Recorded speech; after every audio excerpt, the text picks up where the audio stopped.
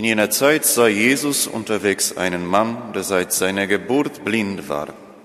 Da fragten ihn seine Jünger, Rabbi, wer hat gesündigt, er selbst oder haben seine Eltern gesündigt, so dass er blind geboren wurde? Jesus antwortete, weder er noch seine Eltern haben gesündigt, sondern das Wirken Gottes soll an ihm offenbar werden. Wir müssen, solange es Tag ist, die Werke dessen vollbringen, der mich gesandt hat. Es kommt die Nacht, in der niemand mehr etwas tun kann. Solange ich in der Welt bin, bin ich das Licht der Welt. Als er dies gesagt hatte, spuckte er auf die Erde, dann machte er mit dem Speichel einen Teig, strich ihn dem Blinden auf die Augen und sagte zu ihm, geh und wasch dich im Teich Shiloach. Shiloach heißt übersetzt der Gesandte. Der Mann ging fort und wusch sich. Als er zurückkam, konnte er sehen. Die Nachbarn und andere, die ihn früher als Bettler gesehen hatten, sagten, ist das nicht der Mann, der da saß und bettelte? Einige sagten, er ist es. Andere meinten, nein, er sieht ihm nur ähnlich. Er selbst aber sagte, ich bin es. Da fragten sie ihn, wie sind deine Augen geöffnet worden? Er antwortete, der Mann, der Jesus heißt, machte einen Teig, bestrich damit meine Augen und sagte zu mir, geh zum Shiloach und wasch dich. Ich ging hin, wusch mich und konnte sehen. Sie fragten ihn, wo ist er? Er sagte, ich weiß es nicht. Da brachten sie den Mann, der blind gewesen war, zu den Pharisäern. Es war aber Sabbat an dem Tag, als Jesus den Teig gemacht und ihm die Augen geöffnet hatte. Auch die Pharisäer fragten ihn, wie er sehend geworden sei. Der Mann antwortete ihnen, er legte mir einen Teig auf die Augen, dann wusch ich mich und jetzt kann ich sehen. Einige der Pharisäer meinten, dieser Mensch kann nicht von Gott sein, weil er den Sabbat nicht hält. Andere aber sagten, wie kann ein Sünder solche Zeichen tun? So entstand eine Spaltung unter ihnen. Da fragten sie den Blinden noch einmal, was sagst du selbst über ihn? Er hat doch deine Augen geöffnet. Der Mann antwortete, er ist ein Prophet. Die Juden aber wollten nicht glauben, dass er blind gewesen und sehend geworden war, daher riefen sie die Eltern des Geheilten und fragten sie, ist das euer Sohn, von dem ihr behauptet, dass er blind geboren wurde? Wie kommt es, dass er jetzt sehen kann? Seine Eltern antworteten, wir wissen, dass er unser Sohn ist und er, dass er blind geboren wurde. Wie es kommt, dass er jetzt sehen kann, das wissen wir nicht. Und wer seine Augen geöffnet hat, das wissen wir auch nicht. Fragt doch ihn selbst. Er ist alt genug und kann selbst für sich sprechen. Das sagten seine Eltern, weil sie sich vor den Juden fürchteten, denn die Juden hatten schon beschlossen, jeden, der ihn als den Messias bekenne, aus der Synagoge auszustoßen. Deswegen sagten seine Eltern, er ist alt genug, fragt doch ihn selbst. Da riefen die Pharisäer den Mann, der blind gewesen war, zum zweiten Mal und sagten zu ihm, Gib Gott die Ehre. Wir wissen, dass dieser Mensch ein Sünder ist. Er antwortete, ob er ein Sünder ist, weiß ich nicht. Nur das eine weiß ich, dass ich blind war und jetzt sehen kann. Sie fragten ihn, was hat er mit dir gemacht? Wie hat er deine Augen geöffnet? Er antwortete ihnen, ich habe es euch bereits gesagt, aber ihr habt nicht gehört. Warum wollt ihr es noch einmal hören? Wollt auch ihr seine Jünger werden? Da beschimpften sie ihn, du bist ein Jünger dieses Menschen, wir aber sind Jünger des Mose. Wir wissen, dass zu Mose Gott gesprochen hat, aber von dem da wissen wir nicht, woher er kommt. Der Mann antwortete ihnen, darin liegt ja das Erstaunliche, dass ihr nicht wisst, woher er kommt. Dabei hat er doch meine Augen geöffnet. Wir wissen, dass Gott einen Sünder nicht erhört, Wer aber Gott fürchtet und seinen Willen tut, den erhört er. Noch nie hat man gehört, dass jemand die Augen eines Blindgeborenen geöffnet hat. Wenn dieser Mensch nicht von Gott wäre, dann hätte er gewiss nichts ausrichten können. Sie entgegneten ihm, Du bist ganz und gar in Sünden geboren und du willst uns belehren, und sie stießen ihn hinaus. Jesus hörte, dass sie ihn hinausgestoßen hatten, und als er ihn traf, sagte er zu ihm, Glaubst du an den Menschensohn? Der Mann antwortete, Wer ist das Herr? Sag es mir, damit ich an ihn glaube. Jesus sagte zu ihm, Du siehst ihn vor dir, er, der mit dir redet, ist es. Er aber sagte, ich glaube, Herr, und er warf sich vor ihm nieder. Da sprach Jesus, um zu richten bin ich in diese Welt gekommen, damit die Blinden sehend und die Sehenden blind werden. Einige Pharisäer, die bei ihm waren, hörten dies und sie fragten ihn, sind etwa auch wir blind? Jesus antwortete ihnen, wenn ihr blind wärt, hättet ihr keine Sünde. Jetzt aber sagt ihr, wir sehen, darum bleibt eure Sünde. Brüder und Schwestern in Christus, dieses lange Evangelium erzählt sehr vieles. Also das Offensichtliche, einem Blindgeborenen hat Jesus die Augen geöffnet, so dass er sehen konnte. Aber da gibt es sehr viel mehr an Inhalt. Dazu gibt es auch reichlich Kommentare. Wenn es jemanden interessiert, lest in der Bibel nach, schaut euch das an. Da geht es um die Frage, wer Jesus ist, um die Frage, wie man den Sabbat heiligen soll, um die Frage, was der Messias zu tun hat und so weiter und so fort. Ich möchte mich heute dem zuwenden, was ganz am Anfang dieses Evangeliums gelesen wurde. Jesus trifft diesen blinden Menschen und daraufhin fragen seine Jünger ihn etwas. Und diese Frage ist, da liest man sehr schnell drüber, aber die ist sehr wichtig. Sie fragen ihn, Rabbi, wer hat gesündigt? Er selbst oder haben seine Eltern gesündigt, so dass er blind geboren wurde? Klar ist, dahinter steckt die Überzeugung, für die eigenen Sünden oder für Vergehen, wie man es auch nennt, wird man bestraft. Wenn nicht ich, dann meine Kinder. Das ist diese Überzeugung, die dahinter steht bei den Jüngern Jesu. Deswegen fragen sie ihn, warum ist dieser Mensch blind? Hat er selber was Schlimmes getan oder vielmehr, weil er von Geburt an blind ist, haben seine Eltern was Schlimmes getan und deswegen wurde er mit der Blindheit bestraft. Und klar, das ist eine Vorstellung, die im Alten Testament sehr oft uns begegnet, auch zur Zeit Jesu. Ja, das liegt weit in der Vergangenheit. Das stimmt nicht. Diese Überzeugung tragen sehr viele von uns mit. Vielleicht nicht so sehr ausgeprägt, aber doch irgendwie. Heute wissen wir also, dass bei manchen Krankheiten, dass man doch auf das zurückführen kann, was die Eltern gemacht haben. Jetzt vor, also diese Woche, glaube ich, ist eine Studie rausgekommen aus Maastricht, wo das nachgewiesen wurde, wo das durchgehende Rauchverbot eingeführt wurde, da ist die Frühgeburtenrate um 10 Prozent gesunken. Also das hat schon einen Einfluss, wie die Eltern leben, darauf, wie die Kinder dann leben können. Keine Frage. Aber das wussten die Jünger Jesu nicht und das ist auch nicht das, was uns hier interessieren sollte, sondern diese schlichte Frage. Das, was ich tue, also die schlimmen Dinge, werde ich dafür bestraft oder werden meine Kinder dafür bestraft oder nicht? Das ist nicht so belanglos. Erst vor ein paar Tagen hat mich ein Vater eines Kindes, das Kind ist zehn, ein Junge, gefragt, der hat da eine kleine Behinderung.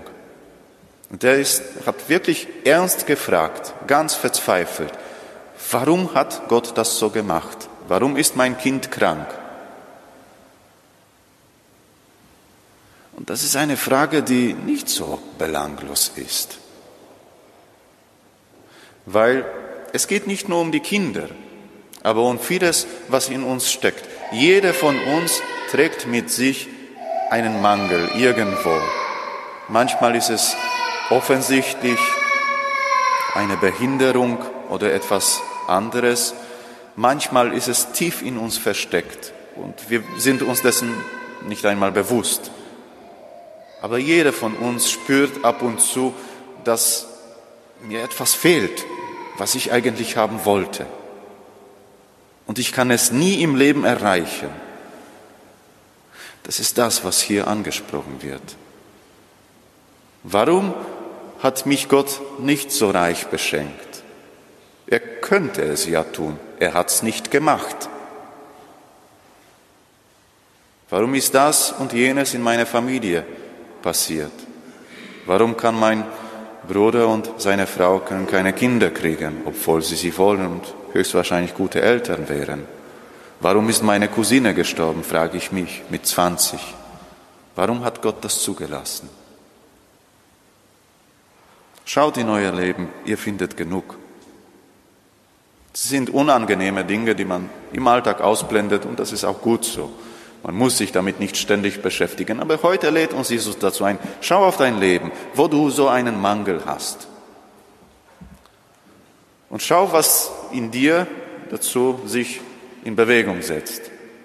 Sind es, ist, sehr oft ist es so eine Frage, wie diese Jünger stellen. Warum? Warum eigentlich ich? Musste es sein? Ich versuche, ich bemühe mich, ein guter Mensch zu sein und Gutes zu tun. Warum ich? Warum hat es mich getroffen? Und die Antwort, die Jesus auf diese Frage gibt, ist folgende. Weder er noch seine Eltern haben gesündigt, sondern das Wirken Gottes soll an ihm offenbar werden. Wieder so eine Antwort, die eigentlich keine ist. Was ist das schon für eine Antwort? Also kurz gesagt, das ist ein Geheimnis. Wir wissen das nicht. Gott weiß es, aber wir wissen das nicht. Wenn man genau hinschaut, ist es doch eine Antwort, die auch für dich und für mich einen Sinn ergeben kann oder einen Sinn geben kann. Jesus sagt klipp und klar, Gott straft keinen Menschen für seine Sünden. Das ist das, was Jesus hier sagt im ersten Satzteil. Weder er noch seine Eltern haben gesündigt. Damit ist gemeint, Gott straft nicht. Punkt. Ende der Geschichte. Auch wenn viele Theologen was anderes behaupten würden, so steht es in der Bibel. Und ich vertraue eher dem Wort Gottes als irgendeinem Theologen. Möge er noch so groß und ehrenwert sein. Gott straft keinen Menschen für irgendetwas. Das ist das Erste. Warum dann Schlimmes in der Welt geschieht, das ist eine ganz andere Frage. Meistens sind wir dasselbe schuld. Nicht immer. Meist, manchmal sind es andere oder die Umstände. Gott soll man dafür nicht in Verantwortung ziehen. Er hat uns die Welt völlig überlassen. Er nimmt da wirklich wenig Einfluss. Und warum ist die Frage, warum es dieses Schlimme, dieses Böse, diesen Mangel, diese Behinderung in meinem Leben gibt? Warum habe ich nicht das, was ich gerne gehabt hätte? Warum ist meiner Familie so etwas geschehen? Oder bei meinen Freunden? Oder mir selbst zugestoßen. Warum? Damit das Wirken Gottes an dir offenbart wird. Das ist jetzt ein bisschen hoch gesagt, was Jesus hier zu seinen Jüngern spricht. Und die haben es nicht verstanden. Also die haben erst was verstanden, als er gestorben ist, auferstanden, der Heilige Geist ist auf sie herabgekommen, dann haben sie es kapiert, aber da haben sie nichts verstanden. Also wenn im ersten Moment du nichts verstehst von dem, was Jesus sagt, keine Sorge. Er gibt schon auch den Heiligen Geist, damit du es verstehen kannst. Das Wirken Gottes soll, soll an dir offenbar werden. Was heißt das jetzt? Das heißt nichts anderes als, dass dieser Mangel in deinem Leben, was es auch ist, dein Weg ist, deine Berufung ist. wie du damit umgehst, also die schlimmste Wunde, die du in dir trägst, wie du mit dieser Wunde umgehst, daran wird sich zeigen, ob du Christus nachfolgst oder nicht, ob du ihn in dein Leben einlässt oder nicht. Er hilft. Da ist Gott wirksam. Wenn man ihn einlädt, dann hilft er, er begleitet und er bewirkt es auch in uns, dass diese Wunde eine Narbe bildet, dass es etwas ist, was in uns bleibt, aber uns nicht mehr behindert. Aber Gott, das ist nicht gemein von ihm, dass er jetzt dich verletzt hat. Haben wir, hab schon gesagt, Gott straft für nichts. Er hat es zugelassen, dass diese Wunde in deinem Leben ist, aber er lädt dich dazu ein. Lass mich in dein Leben hinein und lass es dir zeigen, wie du damit glücklich werden kannst. Mit dem, was am Schlimmen in deinem Leben passiert ist. Wie du das zu deinem Weg machen kannst.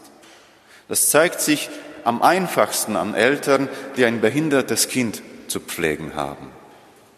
Wenn ich mir die, also ich kenne etliche Familien, das ist eine Belastung, sehr oft eine sehr große Belastung. Manche Eltern scheitern daran kläglich. Das ist auch die Wirklichkeit. Aber es gibt genug Eltern, die es entdecken in diesem behinderten Kind, das mir geschenkt wurde. Da finde ich mein Glück. Und wenn ich mir die Eltern anschaue, die schon 60, 70 sind, und immer noch das eigene Kind pflegen, weil es nicht anders geht. Diese Liebe, die da ist, die wünsche ich jedem in jeder Familie. An diesen Beispielen kannst du sehen, du hast sicher Bekannte, an denen du das sehen kannst. Diese Wunde, die dir irgendwo im Leben zugefügt wurde, diese Mangel, diese Behinderung, die du hast oder die dich belastet, die kann dich auch zu einem unglaublichen Glück führen. Lass dich nur von einem Begleiten, der weiß, wie das geht, von Jesus Christus. Lies in der Bibel, schau dir an, was er zu sagen hat. Kannst auch im Katechismus lesen oder in verschiedenen anderen Dingen.